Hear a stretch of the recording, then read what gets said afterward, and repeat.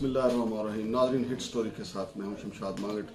आप जानते हैं कि अरशद शरीफ पाकिस्तानी सहाफत का एक बड़ा नाम थे और पिछले खास तौर पे चंद सालों में उन्होंने इतनी मेहनत की और इतना नाम कमाया और ख़ास तौर पे इमरान खान के फॉलोअर्स के हवाले से, इमरान खान के जो फॉलोअर्स हैं, वो अरशद शरीफ साहब से बहुत मोहब्बत करते थे।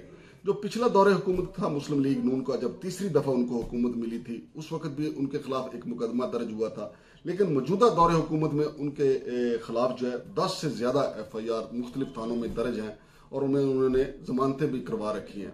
लेकिन बताया जाता है कि अरशद शरीफ जो है, उन्होंने अपनी ज़िंदगी के हवाले से, जो उनकी ज़िंदगी को खतरात लाक थे, उस हवाले से सदर पाकिस्तान को एक खत भी लिखा था, जिसमें उन्होंने कहा था कि मेरी ज़िंदगी को ना सिर्फ़ ख़तरा है, बल्कि मेरे अहल खाना की ज़िंदगी को भी ख़तरा है और मुझे ना सिर्फ़ अगवा किया जा सकता है, बल्कि अगवा के बाद कत्ल भी किया जा सकता है। नाजरीन, ये खत जो है जुलाई 2022 में सदर पाकिस्तान जनाब आरफ अलवी को उनकी तरफ़ से लिखा गया था और इसी खत में उन्होंने कहा था कि पहले मुझे टारगेट किया जाएगा और फिर मेरे पास समी इब्राहिम, आरफ हमीद भट्टी, डॉक्टर मोहित पीरजादा, जमील फारूकी और इमरान रियाज शामिल हैं।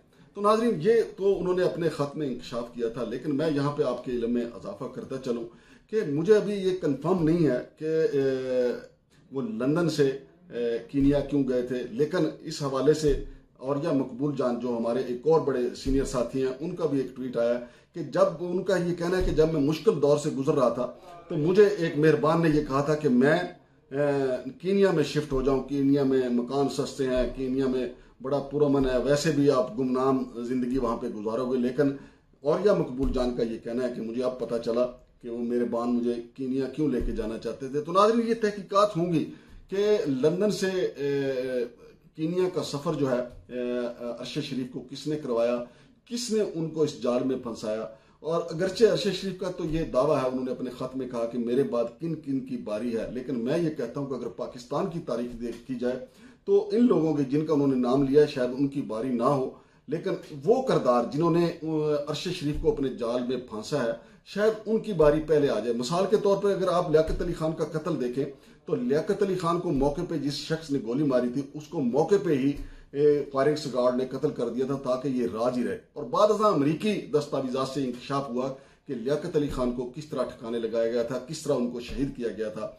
और नाजरीन, फिर बाद में जो मुर्सुआ भुट्टो, जुल्फकार अली भुट्टो के बेटे कराची में शहीद हुए थे, उनकी अपनी बहन की हुक्मरानी थी, उनकी बहन, अपनी बहन मोहतरमा बेनजीर भुट्टो पाकिस्तान की वज़ीर अजम थी, लेकिन उनको क्लिफ्टन के करीब बेदर्दी से गोलियों के साथ भून दिया गया था, शहीद कर दिया गया था। तो नाजरीन, उसका जो एक अहम करदार था, वो इलाका एस एच ओ था। इलाका एस एच ओ को गुमनाम लोगों ने मार दिया था। और फिर शुएब सेडल जिन्होंने इसकी तहकीकात की, उनके पास तो ज़ाहिर है सारे राज होंगे।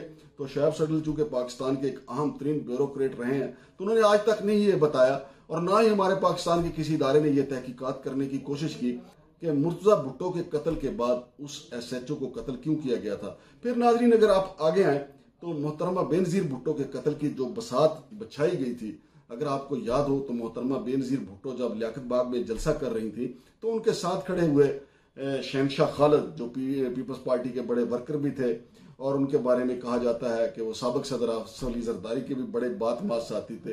वो कुछ इशारे करते देखे गए थे लेकिन मोहतरमा बेनजूर भुट्टो की शहादत के बाद उन्हें भी इंतहाई पुरसरात तरीके से रास्ते से हटा दिया गया था। तो नाजरीन मैं कहने का मकसद यह है कि अरशद शरीफ का जो सफ़र लंदन से शुरू हुआ कीनिया में वो आए फिर वो नरूबी शहर से तकरीबन एक घंटे की मुसाफत पे सफ़र तय करके बाहर गए और वहाँ पे उनके साथ जो शख्स था, जिसका नाम खुरम बताया जाता है, और यह भी कहा जाता है कि जी ये उनका भाई है या कज़न है, लेकिन यह भी बात कंफर्म नहीं है, चूँकि जो हमारे मालूम हैं, जो इस्लामाबाद में रहने वाले साफी जानते हैं, हम सिर्फ़ उनके बड़े भाई जो शहीद हो चुके हैं, मेजर अशरफ शहीद, उन्हीं को जानते थे, या अरशद शरीफ तो वैसे ही सहाफत की आँखों का तारा थे, लेकिन ये खुरम जो एक करेक्टर बीच में आया, और फिर खुरम ने वहाँ पर रबता किया नकार के साथ, इस हवाले से मैं ये समझता हूँ कि अगर ये जाल था तो फिर अब अगर किसी की ज़िंदगी को खतरा है तो उसका नाम है खुरम। क्योंकि खुरम के साथ सफ़र किया, और खुरम अब ये भी मालूम नहीं है, ये मालूम सामने नहीं आई, लेकिन कहा जा रहा है कि निरोबी पुलिस की हिरासत में है। और फिर जो टारगेट करने वाले थे, जिन्होंने निशाना लिया अरशद शरीफ का तो उन्होंने जो गाड़ी चला रहा था खुरम, उसका निशाना नहीं लिया। बल्कि निशाना उन्होंने साथ बैठे हुए अरशद शरीफ का लिया। तो ये सारी चीज़ें हैं जिन पे तहकीकात होनी चाहिए और ये जांचा जाना चाहिए कि ये कैसे हुआ है। अगरचे पाकिस्तान का सफारत खाना वहाँ पर मौजूद है। वो वही मालूम देगा जो उनकी अपनी पसंद की मालूम होगी या सरकार जो चाहेगी। लेकिन एक गैर जानबदार तहकीकत जो है, वो अकवा मुतहदा भी करवा सकती है, जैसा कि हमारे एक सीनियर साथी जनाब तारक उस्मानी साहब ने मुतालबा भी किया है। कि इस कत्ल की जो तहकीकत है अकवा मुतहदा से करवाई जाना ज़रूरी है। तो ना, और नाजरीन इस अरशद शरीफ के कत्ल के हवाले से यह भी कहा जाता है कि वो एक डॉक्यूमेंट्री बनाने के लिए वहाँ कीनिया गए थे और वो डॉक्यूमेंट्री जो है नेटफ्लिक्स पे रिलीज़ होना थी। और ये भी बताया जाता है कि अरशद शरीफ के पास जो सुप्रीम कोर्ट ने फैसला दिया था सबक वज़ीर अजम जनाब नवाज़ शरीफ की नाहली से मुतलक उसका जो वॉल्यूम टेन था जो आज तक सामने नहीं आया कुछ लोगों का ख्याल है कि वॉल्यूम टेन जो है, वो भी अरशद शरीफ के पास था। और अरशद शरीफ जो है, वो इस पे बड़ी तुंदही से काम कर रहे थे। शायद इसलिए किसी नेटवर्क ने उनको टारगेट किया। लेकिन ये सारी चीज़ें कबलज वक्त हैं कि उनके साथ हुआ क्या है। लेकिन मैं ये समझता हूँ, चूँकि वकुआ के ऐनी शाहिद जो है, वो खुरम है। अब खुरम का इसमें क्या करदार है? खुरम ही बता सकते हैं कि जनाब अरशद शरीफ साहब लंदन से क्यों उनके पास आए? क्या खुरम ने उनको कह के बुलाया या किसी और ने बताया? और दूसरी अहम बात यह है कि अरशद शरीफ साहब जो भी करते थे, वो अपने अहल खाना को आगाह रखते थे, क्योंकि उनकी अहलिया भी एक सहाफ़ी हैं, जिनका नाम जवेरिया सदीक है। तो यकीनी तौर पर जब उन्होंने लंदन से कीनिया का सफ़र बांधा होगा तो अपनी अहलिया को, अपनी वालदा को बताया होगा तो उनकी अहलिया और उनकी वालदा के पास ये मालूम होंगी कि वो लंदन से कीनिया क्यों गए। और फिर कीनिया से खुरम के साथ जो उनका सफ़र है दो घंटे की मुसाफत जो नैरोबी से बाहर का सफ़र जो है, नरोबी शहर से बाहर का सफ़र है, जहाँ पे नाका लगा हुआ बताया जा रहा था कि एक स्टोलन गाड़ी जिसका नंबर था के जी सेवन हंड्रेड, उसके लिए नाका लगा हुआ था और फिर खुरम ने वहाँ पे गाड़ी, खुरम को चूँकि वहाँ का ज़्यादा मालूम थी तो खुरम को वहाँ पे गाड़ी रोकनी चाहिए थी, लेकिन खुरम ने रोड ब्लॉक होने के बावजूद कच्चे रास्ते से गुजारने की कोशिश की। ये वो सारी मालूम है जो वहाँ से आ रही हैं। तो उस वहाँ पे मौजूद पुलिस एहलकारों ने उनको टारगेट किया और वो गोली जो है अरशद शरीफ के सर में लगी। तो ये एक नागहानी वाक्य लेकिन इसकी तहकीकात अब देखते हैं कि, कि क्या रुख अख्तियार करती हैं क्या आया हमारे इदारे इस बात तक पहुँच पाएँगे कि किसने अरशद शरीफ को टारगेट किया। वैसे ये सबसे ज़्यादा ज़िम्मेदारी हमारे इदारों की है कि वो इस बात को सामने लाएँ कि अरशद शरीफ की मौत के पीछे क्या महरकत थे?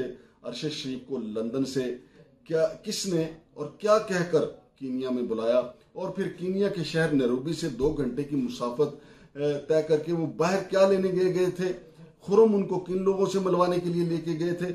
और खुरम का अपना वहाँ पे क्या नेटवर्क है? खुरम बजाते खुद वहाँ पे क्या करता है? नकार क्या करता है? जिसके साथ उसने रबता किया। तो ये सारी चीज़ें जो है वो गुत्थी सुलझ सकती है। मैं समझता हूँ अगर तहकीकती इदारे इसमें दिलचस्पी लें तो सारी चीज़ें बिल्कुल दूध का दूध और पानी का पानी हो सकता है कि ये सारा आ, मामला क्या था। और अरशद शरीफ जो है वो पहले लंदन से कीनिया कीनिया फिर उसके शहर नेरूबी फिर नेरूबी से दो घंटे की मुसाफत पे बाहर क्यों गए? जहाँ उनकी टारगेट किलिंग हुई। तो हमारे रियाती इदारों का ये पहला फ़र्ज़ है चूँकि वो ऐसा माहौल सोशल मीडिया पे बना हुआ है कि जैसे इसके पीछे हमारे ही कोई इदारे हैं, लेकिन ऐसा कहना कबल वक्त होगा और बल्कि कहना भी नहीं चाहिए। तहकीकात का इंतज़ार करना चाहिए और देखना चाहिए कि इसके पीछे असल महरकत क्या है। चूँकि ये एक इंटरनेशनल कत्ल है, हमारे तहकीकती इदारों को रियाती इदारों को ज़्यादा दिलचस्पी दिखानी चाहिए, क्योंकि कोई ना कोई टीवी चैनल, उसका रिपोर्टर वहाँ तक पहुंचेगा, असल हकैक तक पहुंचेगा। पाकिस्तान का कोई रिपोर्टर ना भी पहुँच सका तो इंटरनेशनल तहकीकती रिपोर्टर ज़रूर पहुंचेगा और वो सारा हकैक सामने लाएगा कि खुरम कौन है खुरम का नेटवर्क क्या, क्या है और, और खुरम ने अरशद शरीफ को कीनिया में बुलाया या अरशद शरीफ को किसी और ने खुरम के पास भेजा था। ये सारी चीज़ें हैं मेरा ख्याल है कि चंद घंटों में या चंद दिन में सामने आ जाएँगी। अभी देखते हैं कि आगे क्या होता है। शमशाद मांगट को इजाज़त दीजिए। अल्लाह हाफिज़।